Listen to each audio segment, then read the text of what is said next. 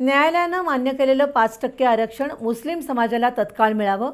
येत्या अधिवेशनात विधेयक आणून मुस्लिम आरक्षण कायम करावं. वक्फ बोर्डाच्या मालकीची त्र्याण्णव हजार एकर जमीन प्रत्यक्ष ताब्याद्वारे बोर्डाला मिळावी.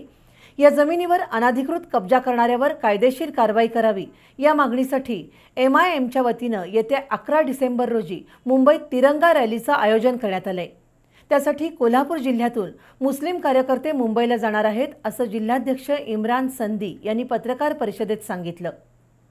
स्वातंत्र्यपूर्व काळात राजर्षी शाहू महाराजांनी मुस्लिम समाजाला आरक्षण दिलं होतं. मुस्लिमांना मुख्य प्रवाहात आणण्यासाठी आणि त्यांची परिस्थिती सुधारण्यासाठी आरक्षण मिळणं ही काळाची गरज आहे हे राजर्षींनी ओळखलं होतं. मात्र स्वातंत्र्यानंतर हे आरक्षण काढून घेण्यात आलं. मुस्लिमांना आरक्षण देण्यात घटनात्मक किंवा कायदेशीर अडचणी नसतानाही त्यांना डावललं जात असल्याचा आरोप ऑल इंडिया मजलिस ए इतेहादुल मुस्लिमीन म्हणजेच एमआयएम पक्षाच्या पदाधिकाऱ्यांनी पत्रकार परिषदेत केला.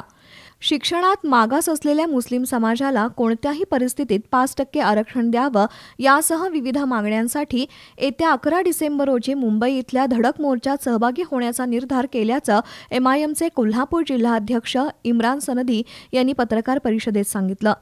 जिल्ह्यातील सुमारे चार हजार मुस्लिम बांधव शंभर वाहनातून दसरा चौकात जमा होणार आहेत.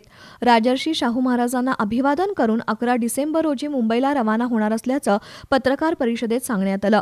यावेळी जिल्हा उपाध्यक्ष इलियास कुन्नुरे शहराध्यक्ष इरफान बिजली करवीर तालुकाध्यक्ष हाफिज पठाण शहीद मोमीन जमीर नदाफ मोहसिन मोमीन यांच्यासह कार्यकर्ते उपस्थित होते.